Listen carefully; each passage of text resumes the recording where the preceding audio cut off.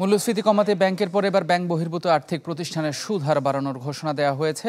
বাংলাদেশ ব্যাংকের আর্থিক প্রতিষ্ঠান ও বাজার বিভাগে সংক্রান্ত নির্দেশনা জারি করেছে। এখন থেকে আর্থিক প্রতিষ্ঠানের ঋণের ক্ষেত্রে স্মার্ট রেট বাড়িয়ে সাড়ে পাঁচ শতাংশে উন্নীত করা হয়েছে। পাশাপাশি আমানতের সুদ হার নির্ধারণে স্মার্টের সঙ্গে সর্বোচ্চ আড়াই শতাংশ মার্জিন যোগ করতে হবে। এতদিন ঋণে স্মার্ট রেট ছিল পাঁচ শতাংশ এবং আমানতে দু শতাংশ।